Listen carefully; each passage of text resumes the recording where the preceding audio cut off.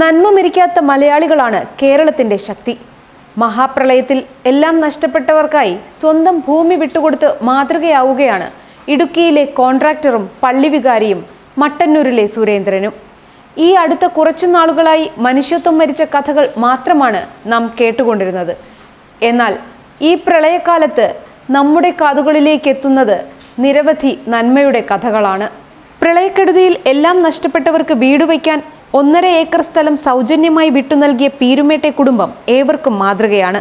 വീടിരിക്കുന്ന മൂന്ന് സെന്റ് ബാക്കിയാക്കി ഒന്നേകാൽ ഏക്കർ ഭൂമിയും വീടില്ലാത്തവർക്കായി നൽകിയിരിക്കുകയാണ്. ഇടുക്കിയിലെ ചെറുകിട കോൺട്രാക്ടർ ചെറുകിട കരാർ ജോലികൾ ഏറ്റെടുത്ത് നടത്തുന്ന Peermade L M S estate പുതുവലിൽ Parvathi ഭവനിൽ ബാലു എന്ന വി പാൽരാജാണ് വീട് നഷ്ടപ്പെട്ടവർക്ക് സൗജന്യമായി സ്ഥലം നൽകുന്നത്.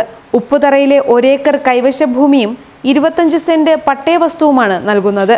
ഇനി തനിക്ക് മൂന്ന് സെന്റ് മാത്രം മതിയെന്നാണ് പാൽരാജ് പറയുന്നത്. കോടികൾ നൽകുന്ന കോടീശ്വരന്മാർക്കൊപ്പം ജീവിത സമ്പാദ്യം മുഴുവൻ നൽകി മാതൃകയാവുകയാണ് പാൽരാജിനെ പോലെയുള്ളവർ. പാൽരാജിന്റെ ഭാര്യ ഷീബ തയ്യൽ തൊഴിലാളിയാണ്. സ്ഥലം വിട്ടു നൽകുന്നതിനുള്ള സമ്മതപത്രം മന്ത്രി എം എം മണിക്ക് കൈമാറി. പ്രളയ ദുരന്തത്തിൽ പാർപ്പിടം നഷ്ടപ്പെട്ടവർക്ക് സ്വന്തം പേരിലെ ഒന്നര ഏക്കർ ഭൂമി വിട്ടു നൽകാനൊരുങ്ങി Adimali Parathode saint George forane പള്ളി വികാരി ഫാദർ ജോസ് ചിറ്റടിയിലും നന്മയുടെ പുതിയ പാഠമാണ് പകർന്നു നൽകുന്നത്.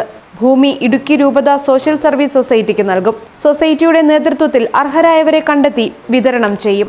മട്ടന്നൂരിലെ സ്വാതന്ത്ര്യ സമര സേനാനിയുടെ മകൻ സുരേന്ദ്രൻ തന്റെ മുപ്പതര സെന്റ് സ്ഥലം വീട് നഷ്ടപ്പെട്ടവർക്ക് സൗജന്യമായി നൽകിയാണ് മാതൃക സൃഷ്ടിക്കുന്നത്. മട്ടന്നൂരിനടുത്തെ ചാവശ്ശേരി സ്വദേശിയായ എൻ ബി സുരേന്ദ്രനാണ് ഭൂമിയുടെ സമ്മതപത്രം കഴിഞ്ഞ ദിവസം വ്യവസായ മന്ത്രി ഇ പി ജയരാജന് നൽകിയത്.